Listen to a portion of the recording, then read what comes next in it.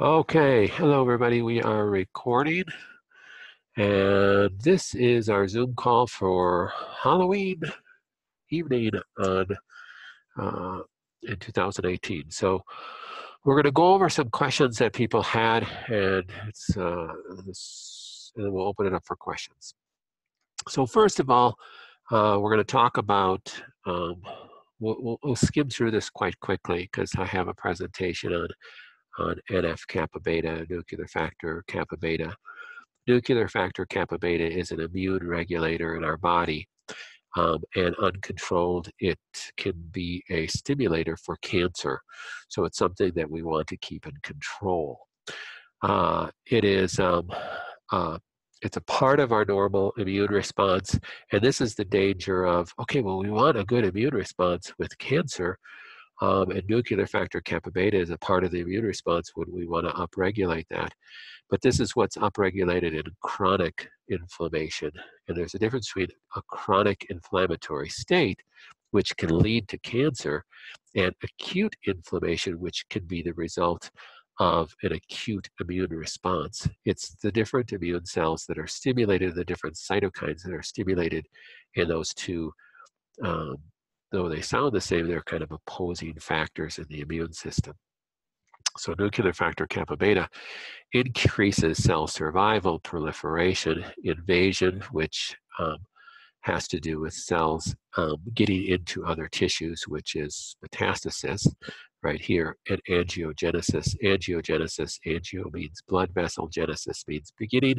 So this is growth of new blood vessels. So nuclear factor kappa beta is one of those things that is, remember what I always say, there's nothing in our body that is made in our body that is either inherently good or inherently bad. It's the balance or we could say imbalance that um, can hurt us and especially if we have a certain disease going on. So nuclear factor kappa beta, you'd almost want to be upregulated if you were not dealing with with cancer. Um, you want to upregulate nuclear normal things like exercise, upregulate nuclear, nuclear factor kappa beta, and stimulate angiogenesis, which is what you want around your heart, and you want the the growth of new blood vessels, and we want cell survival and proliferation. Um, but when we have cancer, we don't want overall cell survival and cancer cell survival and angiogenesis, which is growing blood vessels into a growing tumor also. Um, and we certainly don't want metastasis. So, depending on what condition we're dealing with, we certainly don't want to upregulate NF kappa beta. And it is a problem with chronic inflammation. Well, things that upregulate cap, nuclear factor kappa beta is stress. I mean, you think of it. We, when we are under stressful conditions, we need to increase cell survival. We might need to increase uh, uh, angiogenesis. Uh, uh that could help the survival of you as a body. Um, we have uh, chronic infection, uh, obesity, addiction can all upregulate uh, NF kappa beta, upregulates these different immune molecules, these are cytokines, um, and can cause issues. Uh, so those are some things we want to keep in control. Well, curcumin, the, the um, uh, nutrient that is in turmeric is uh, one probably the best way to downregulate nuclear factor kappa beta. All these other things will help decrease NF kappa beta as well, but curcumin by far there's the most studies on that will help with that. And another question that we had come in was about IGF-1, and the person said you talk about IGF-1 quite often could you remind us what IGF-1 is? Well, there's even supplements of IGF-1. So again, is IG, IGF-1 is a chemical that's produced in your body that's called insulin growth factor 1. It's not a growth hormone. It's different than a growth hormone, but it is a growth factor uh, when it comes to cell proliferation and cell survival. So if I was working out and I wanted to increase my cell survival and increase angiogenesis to my heart and tissue, well, you might think about taking IGF 1 capsules. Now, personally, I would never take IGF 1 capsules because everybody probably has some cancer cells in their body, so I wouldn't want to upregulate IGF-1 uh, exogenously, meaning taking something that's going to stimulate IGF-1. Uh, there's different growth hormone uh, supplements that are on the market for that sake. So many times bodybuilders, people that are trying to, you know, working out for uh, athletics or something like that will take supplements like this to help build muscle cells, to build tissue cells. Well, that can be very dangerous if you have cancer going on. Remember this slide here, we spoke about this often, that IGF-1 upregulates mTOR. So mTOR is the growth mechanism in our body that is upregulated through a lot of different uh, stimulation. Now, in a sense, again, this is not a bad thing. You need growth upregulation if you injure your tissue or something so that you heal that tissue. But we don't want to be constantly stimulating mTOR if we have a diagnosis of cancer. And some of the things that are one of the things that upregulate mTOR is IGF-1 increase. So we have to be careful with that. Where do we get IGF-1 increase? Well, in this chart, it talks about dairy, but we'll talk about some other things as well. So we want to downregulate IGF-1. So exogenous sources of IGF-1 and other growth hormone fa factors are uh, uh, bovine growth hormone in dairy products. So non-organic dairy products can have our G, uh, BGH uh, hormone in it. That's a strong upregulation of growth hormone and IGF-1. But all dairy has IGF-1 in it. Think of what dairy does. Dairy is the IGF-1s in dairy along with the hormones in dairy upregulate mTOR. Why? Because dairy products are supposed to be for baby animals. What do baby animals become? Adult animals. They do so by growing. So, and the IGF-1 and the hormones that are in it help upregulate mTOR to help with growth. That's the whole purpose of that. So we don't want to be growing cells and increasing replication factors of cells if we have a diagnosis of cancer. So you don't have to worry about getting uh, recombinant bovine growth hormone because you're not going to be eating much dairy. So, but if you do eat dairy, this is where you want to eat organic dairy that does not have that. So if you're going to be eating dairy, so if you're doing um, the Budwig protocol, you want to be making sure you get organic cottage cheese because you don't want RBGH in your cottage cheese that you are using because even though you are emulsifying it with the um, fat, you are still getting that hormone. So that's not a good thing.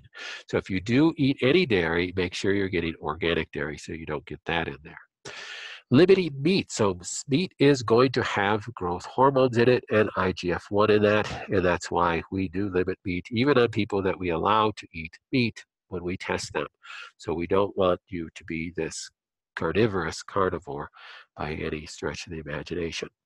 Just things like injuries, surgeries. We've talked about this in the past. We injure, cut your hand someplace, it's going to upregulate IGF-1 in order to heal that wound. That's how your body heals that wound. Back to this chart here. So you have an injury, any any uh, cell damage for of any kind is where it says if you're going to do radiation treatment, you're going to have cell damage, you're going to upregulate mTOR. That's how your body has to heal from any wound, is an upregulation of mTOR. Well, then it's that upregulation of mTOR isn't going to be just specific to that wound. It's going to affect the cancer cells as well. So we want to avoid any surgeries that we could possibly avoid. Uh, and this is one reason why you wouldn't want to work out like you're training for a marathon uh, when you have cancer because you are doing microscopic injury to muscle and ligament damage constantly, and you're going to be upregulated IGF-1 constantly to heal from that really tough workout you had last week. Uh, excess body weight, excess glucose, sugar consumption, insulin sensitivity is all going to increase IGF-1. And when you increase IGF-1, we decrease apoptosis. That means we decrease cell death, we decrease our ability to kill cancer cells. We also increase the risk of metastasis. We increase cancer growth. We increase angiogenesis, new blood vessel growth into a hard tumor, which is not good.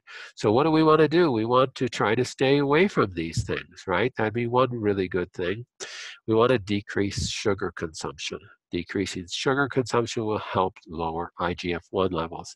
Decrease meat. Consider a more plant-based diet. Even if your cancer isn't driven by amino acids and it's okay to eat meat, consider eating a higher amount of plant-based foods. Obviously, uh, no hormones, uh, staying away from dairy.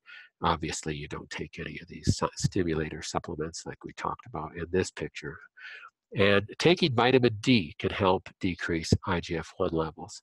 Uh, matter of fact, if you've had your IGF-1 levels tested, because you can test this through a blood test, and those those blood levels are high, it's a pretty good chance that you're deficient in vitamin D or you have vitamin D receptor gene defects. So when we look at your genes, we will look at that as well.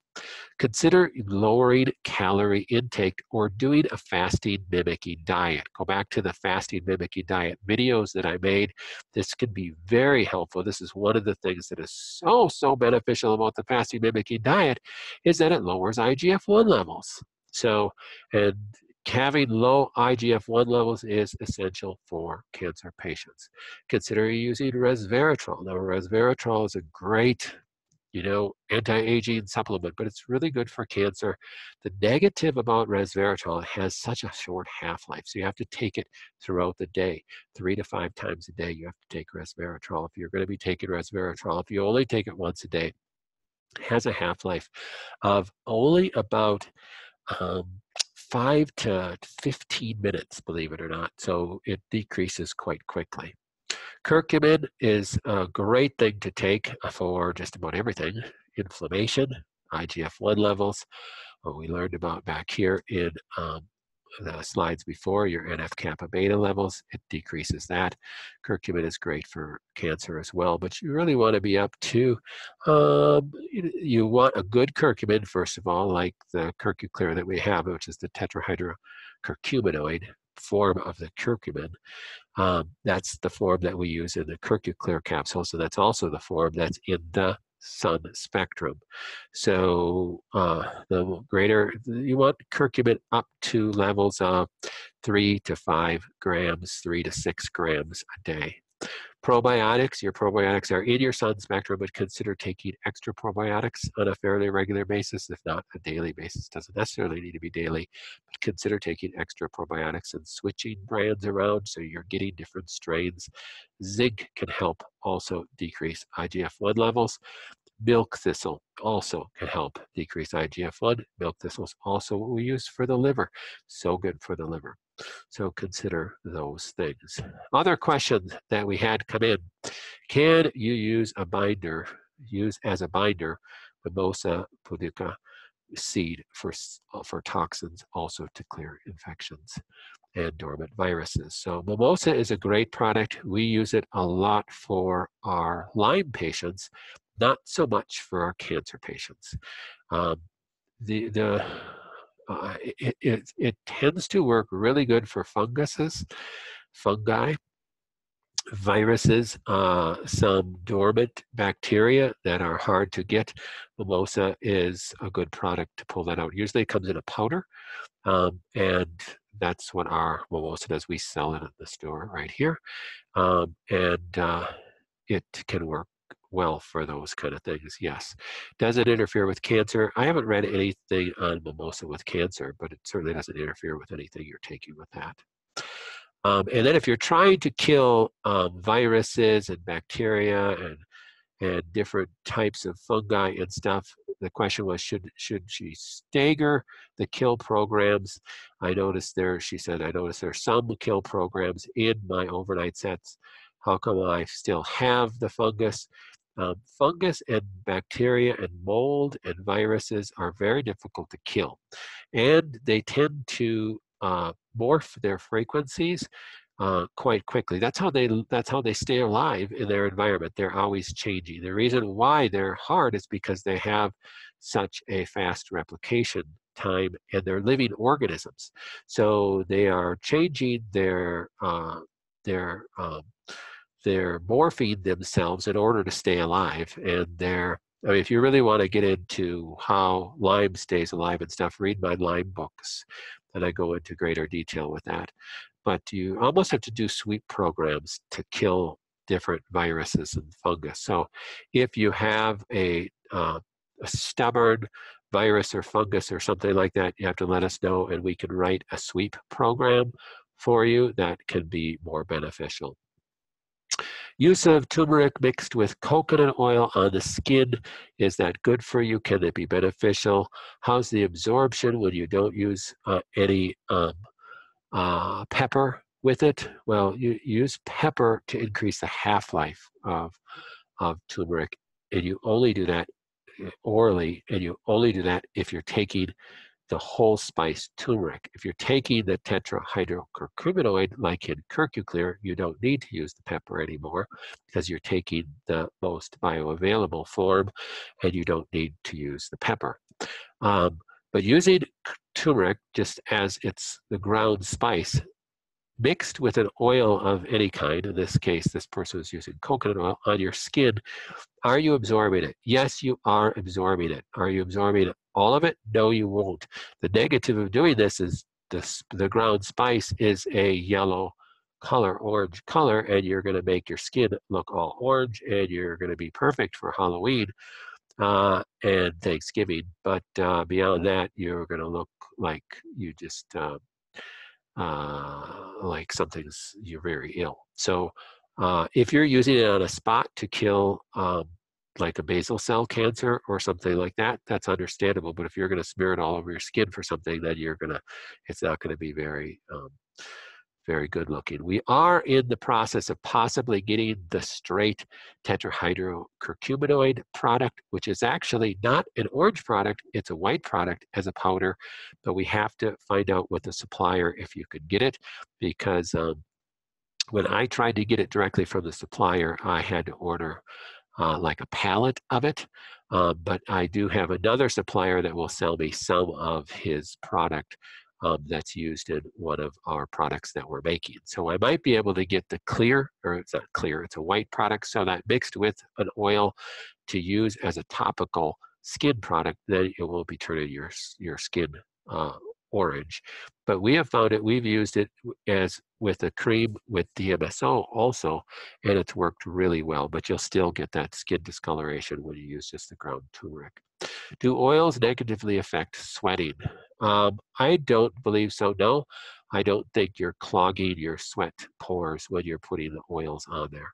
So if you were using an oil with an aluminum or a heavy metal in there, like um, your antiperspirants, then the whole purpose of using an aluminum in an antiperspirant is to clog your sweat pores so that you don't sweat. Uh, that's not good. So, but if you're just using coconut oil or you're using a shea butter or something natural like that, no, I don't think you're affecting your sweat glands and you're not affecting sweating at all. Using DMSO uh, over an involved lymph node, yes, that can be very beneficial. You can also use DMSO as a driver. Typically, we use DMSO as a driver. So DMSO is dimethyl sulfoxide, which is a product that is quickly and readily absorbed. Um, now, using too much DMSO, because when it was a big fad back in the 1970s, people could get sick from it. Uh, especially if you have defects on your CBS pathway, you could get sick because it is a sulfur product and you don't if you have CBS defects, you don't detox sulfur very well. So that could be a problem. But it was really only a problem when people thought it was the cure all for everything and they like dump their hands in it and soak their bodies in the stuff. And you're probably getting too much even if you don't have those defects. And people would literally smell like garlic or sulfur but used sparingly, as we do with uh, with the DMSO zinc spray, um, it can be very beneficial to uh, help kill a cancer. or uh, stop a cancer from growing. So DMSO by itself is an anti-inflammatory. When you couple it with something that you want to get into the tissue, then it can be a driver, it could be a carrier of that thing. So often, you go back and watch my videos on zinc in cancer. Um, ways to get zinc in a tumor can be using DMSO. So that can be a good driver. Okay, so we are going to open it up for questions and I'm unmuting everybody. I will ask that if you have, uh, you know, in the last few weeks, if you've been on the call and you've asked a question, I ask that if you'll please refrain um, uh, tonight because we want to get other people involved, if at all possible, and other people to get a chance to ask, ask questions. So it's, the floor is yours. Dr. Conners, I have a question concerning uh, meat. Yep. Uh, we raise our own beef. We have our own hay, and so we don't inject our animals with anything. Is um, is that still a problem if I eat meat? Being on a keto diet, that's that's primarily, you know, I eat meat once a day at least. Yeah. With vegetables. So if you're going to eat, if you're on a keto diet, you're going to be eating meat most likely. Um, and then your source is so important. So you're still going to get IGF 1 from your meat, um, but you're going to get a lot less. You're not going to get any major growth hormones that they're feeding in the feed. Um, so yeah, that's the way to do it. Um, even on a keto diet, you know, could, you know, go a day without meat. You don't have to necessarily eat meat every day, but um, the biggest thing is is that um, you, you, know some people on a keto diet they think that that's that's free range for them to eat meat five times a day and you're not doing that so you're safe on that. Great thank you so much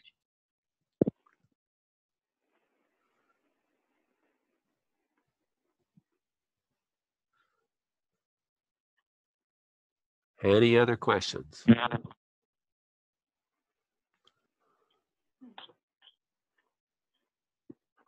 Uh, Dr. Conners, this is Liz Schaffner. I, I have a question that I've asked questions the other week. Go ahead. Sour sap. No, know, sour soap, soap, S O P. Yeah. Uh, it's a fruit that comes from Australia. Yes. It's been very effective. And I think there's sour sap leaves make tea. Um, do you know that if it's you know anything about it? Is it? I've read about it. It's hard to get, um, but um, uh, it's certainly anything like that is um, is worth a try. Um, uh, with anything that you're buying, you you what you have to be careful of is purity. Um, uh, yes. I'll give you an example. So one uh, product that's really hot on the market, not so much with cancer, but with autoimmune patients, is a product called Kratom. Uh, we, I think we, I might even have a cancer patient that's taking Kratom. Um, you may have heard of it, you may not have heard of it. I don't think there's a lot of information around the cancer circles for Kratom, but with autoimmune patients, it's really big. Um, it you have to be not technically legal in the United States. You have to order it from overseas. We had uh, a friend who went to a friend's house and said, "Hey, I got this great tea because it can be um, a little." Um, I'm going to mute everybody while I answer this. It can be a little um, hallucinogenic in a way. Um, it can give you a sense of ease and calmness. It's really great for anxiety patients. So that's the big push for it right now. But the purity is a huge issue. Well, this friend that went over to his buddy's house and had some had had to end up going to the emergency room, and he almost died. So uh, it's it can be very dangerous. So I would just be careful on purity because you buy something from China, uh, you, know, how do you know if it's pure or not? So that's that's the only thing that I'd be careful with with some of the products that you can buy. Now, if you buy something that is that is labeled and it's sold by a major distributor in the United States, then it's probably safe as far as not going to be toxic, but there's no guarantee that it actually has in it what it says it's in it. It might be 95% uh, ground rice, um, and that's just the risk that you take. The only, the, I guess that isn't uh, a negative in a sense that nobody's going to get hurt from it, but it's a negative in a sense that you're not going to necessarily be helped from it. So that's the difficult part of buying products that that you don't have a lab that's testing it. So um, I'm all for it if you can get it from a reputable source. On the sour sap, I was told that Whole Foods had it. I called them and I'm going to call back and talk to their buyer. And Good then idea. I'll find out more from him. If you could Yeah, post it on had- Facebook, that would be good information for everybody. I will, thank you. Uh, the other, uh, I wanted, is maximum amount of foot baths I could do. It seems like when I'm doing foot baths, it's pulling a lot out of my body every time. I mean, I feel fabulous afterwards. You know, Well, the- I, I The only hesitation on foot baths is, is it will pull minerals. So as long as you are getting minerals in your body, then I'm not worried about that. Just like doing saunas. Oh, I want to do a sauna, you know, twice a day. I feel so much better. I'm all for it. Go for a sauna twice a day, but make sure you're replenishing your minerals. Minerals. And how do you replenish your minerals? You can take a mineral supplement. And again, go back to what type of mineral supplement should I take? It should be a it should be um, a mineral supplement that is either plant based, which would be like maybe drink another greens drink. That would be a good source Right. of replenishing those electrolytes and minerals. Uh, you could Mhm. take some, you know, make sure you go back to salting your food with the good Himalayan or sea salt, a good natural sea salt, um, or take a mineral supplement like the the one that we have that is um, uh, a glycine double bound double binded uh, carbon bond glycine product. Um, and I do have a video on on correct supplements to take, but if you take a good food-based supplement, then then you're going to be fine. And you could do a couple a day if you wanted to. Um, uh, that would be just fine. Thank you so much. I um I just want to personally thank you. I was able to listen to some of your recent videos and related to every single thing you said being a nurse for over 50 years. I I I was very touched and it was beautiful and thank you so much. Oh, you're very welcome. I just want to know how you became a nurse when you were six years old. I mean, if you were a nurse for 50 years, that's just amazing. But You're lovely. Thank you. I'm seven actually 76. oh my goodness. Yeah, old lady. when you lose your hair from chemo and you and you have to carry a wig, you you look a little younger maybe. oh, that's great. You look very young. Well, my here's my new word. Stay positive, stay strong. That's great. That's great. We all need that. Well, thank you, Liz. Well, I just hope you know how dearly you are loved and deeply appreciated Oh, because the the uh, information that you gave me on protocol, you know, on on it worked. It worked. It's just wonderful. Yeah. Well, let's just, praise you enough. let's just keep it up, right? And keep our prayer line in order and everybody praying for each other. And that's the most important thing. Absolutely. Jeremiah 29, 11 to 14. There it is. Amen. That's always been my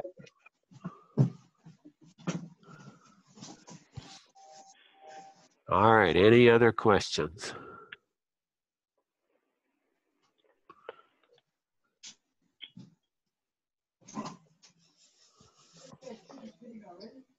No? All right, well, we can call it a day. If um, you guys have any questions that uh, you're afraid to ask, make sure you email them to you, to me, sorry. And for our new people that are on this for the first time or so that have not uh, or listening to this for the first time or so, um, if you have questions and you don't want to state them on uh, live uh, call or you can't hear the live calls, email questions, but please put in the memo line of the email uh, Zoom question because we get about 150 emails a day and we don't want it to get lost. So thank you very much. This will be recorded. Oh, we got somebody's hand raised. Go ahead. You have a question?